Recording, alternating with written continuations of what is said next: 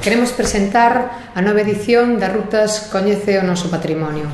Nesta ocasión son as rutas de primavera. Vamos a facer eh, seis rutas en principio, empezando o domingo 14 de abril e remataremos a última o domingo 23 de suño.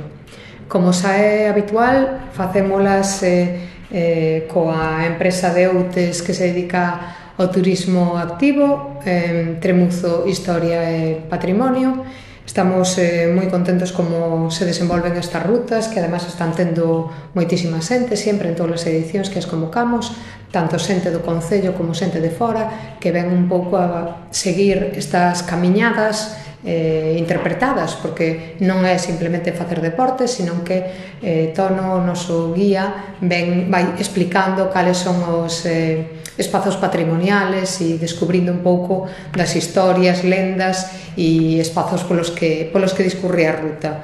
Mm, nesta ocasión, eh, como vos decía, vamos a tocar eh, varias das parroquias, empezaremos no Freixo, seguiremos polo Concello de Outes, Baladares, pola zona dos Montes de Lantarou, en eh, maio xa estaremos na Torre dos Mouros e Fervenza de Sampaio, Tamén faremos unha en suño polo río Bendimón e remataremos xa o 23 de suño ca de Mirasa Carleo polo Cristo do Baneo, porque mm, en agosto e setembro, bueno, en suyo e agosto máis ben, pararemos en temporada alta, verán, a xente pois, asiste menos a este tipo de convocatorias e xa retomaremos en outono. Entón, vai vos explicar un pouquiño máis cales son os, as maneiras de, de participar nesta ruta.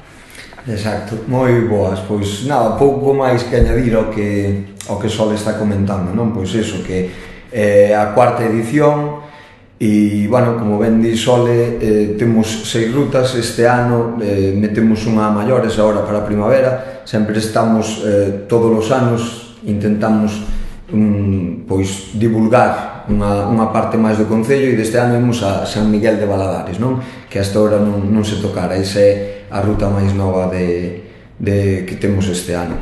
Entón, bueno, eh, un pouquiño un pouquiño comentar, remarcar que son bisemanales este ano, non? cada dúas semanas, e para participar, eh, bueno, ao, ao igual que se fixera nas de, nas de outono, pois pusemos en marcha un, un sistema que de alguma maneira creemos que, que funcionou ben, que é o de, o de cubrir un formulario que vai estar eh, vai estar colgado na páxina web do Concello ou eh, na Casa da Cultura, non? Entón, é moi sinxeliño, eh, anotarse, cubrir un, uns datos e, e xa está. Pero é obrigatorio, vale? É obrigatorio eh, a inscripción. E nada, pola nosa parte, pois simplemente seguir eh, buscando eso, como di Sole, non? Eh, esa tan boa acollida que estuvo tendo bueno, esta, esta iniciativa de Coñezo o noso eh, patrimonio en Outes que sempre cada ano foi un pouquiño máis esperamos asentar cada ano que pasa pois temos aí ese reto non? De, de, de que a xente siga respondendo e, e nada, esperando esperando impacientes a, a empezar e para enseñar estas zonas de outes que son, que son geniales non? Polo tanto, recordovos todos os lunes eh, antes da semana que se dé a Andaina, que serán sempre os domingos pola mañá, Pois xa abriránse as inscripcións. Meredelo nas nosas redes sociais, nas páxinas web do Concello. Podedes nos carteles tamén que hai por aí escanear o código QR para cobrir a inscripción. Hai prazas limitadas, necesitamos saber o número de persoas que veñen por o tema dos seguros, pero bueno, son eh, andainas a maioría delas nas que eh, poden asistir hasta 50 personas. Recordade tamén, sobre todo, porque aínda está moi mollado todo, que leva chovendo moito tempo, traer eh, calzado aceitado.